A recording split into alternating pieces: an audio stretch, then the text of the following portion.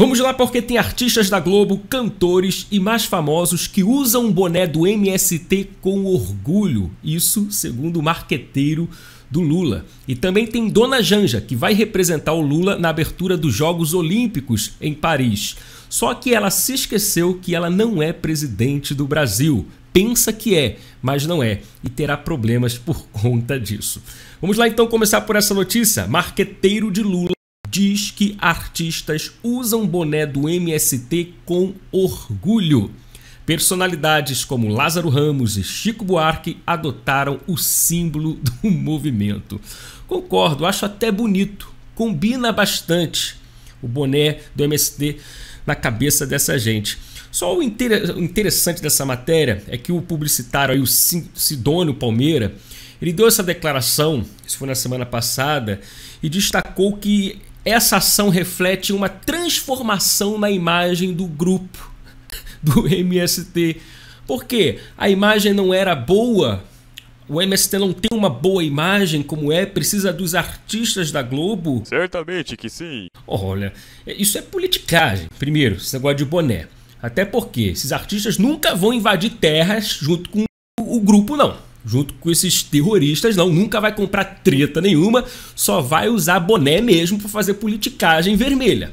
Nada mais. E quem tá usando esse boné? Segundo a matéria aqui, Lázaro Ramos, Aline Moraes, Chico Buarque, Bete Carvalho, Ana Canãs, não conheço, e Paola Carosella. Agora estão usando. Ah, essa é aquela do restaurante, do Arthurito que está sempre falindo com problemas, a lacradora que foi acusada de dar golpe nos sócios do restaurante. É legal, tá usando o boné correto, Paola Carosella. E esse boné, tô vendo aqui, ó, custa R$ 58,98. Estão utilizando também os artistas para fazer propaganda aí do boné, mas tem duas coisas aqui que acontecem. Primeiro, o MST ele está fazendo um movimento para lançar candidaturas do MST a prefeituras, vereadores também, aí Brasil afora, e eles fizeram um evento que reuniu aí cerca de 300 pré-candidatos do MST. Aí teve ali a participação do Otávio Antunes, o marqueteiro de Fernando Haddad em 2018, Paulo Camoto e Gleisi Hoffmann, presidente do PT. Já viu, eles querem colocar os terroristas agora na política, nas prefeituras, nas câmaras, etc. E também vender o boné. Olha só, isso aqui que é o curioso. O boné custa R$ 58,98, carinho, hein? E ele também é popular entre jovens de classe média de esquerda. Imagina aqueles jovens, né? Agora com 40 gramas e tal. Mas vamos lá, vamos lá, não quero misturar assuntos. Você já deve imaginar que tipo de de jovens são esses. Sabe o que o MST fala quando vai vender o boné? E agora com artistas fazendo propaganda, olha só, aspas para o movimento.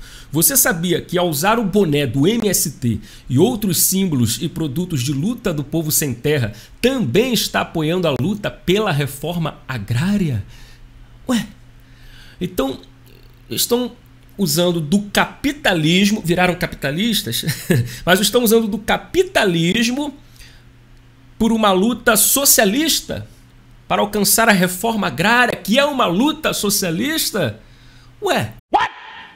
Pois é, para você ver a hipocrisia dessa gente. Vamos agora falar de Janja, porque Janja encara problemas com credencial para a abertura da Olimpíada de Paris. Primeira dama deve representar o presidente Lula durante a cerimônia. O ministro do Esporte, André Fufuca, também comparecerá ao evento.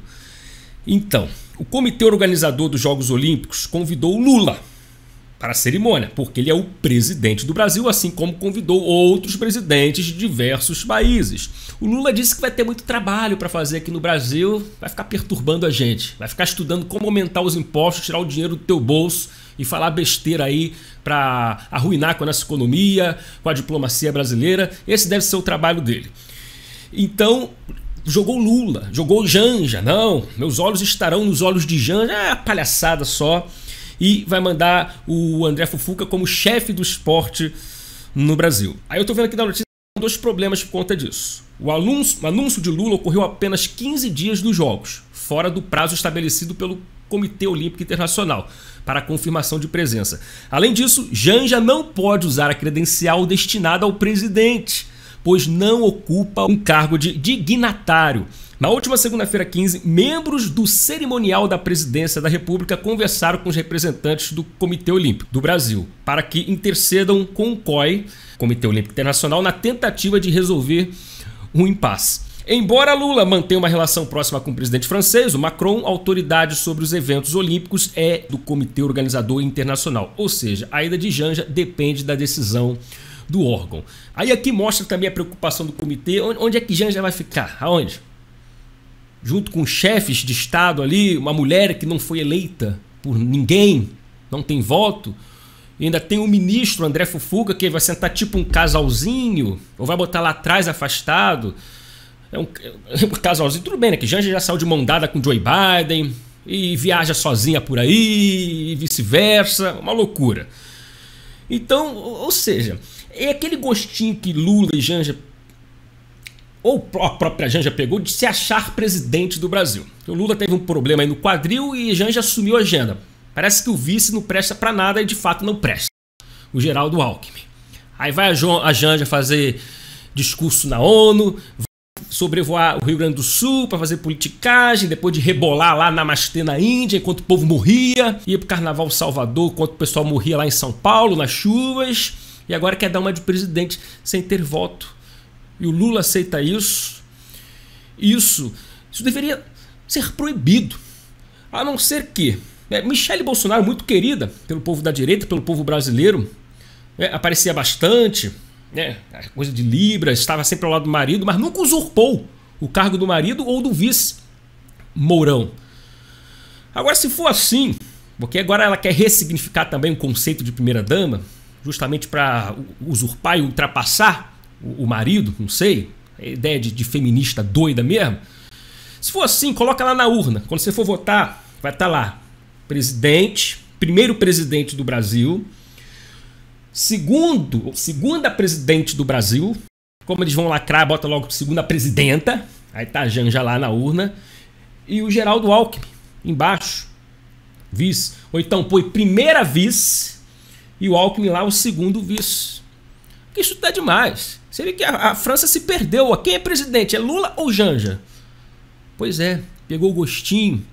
Isso tudo atrás de holofotes tudo atrás de fama. Certamente que sim. Pois é, gente. Para encerrar o vídeo, notícia que eu acabei de pegar aqui na internet.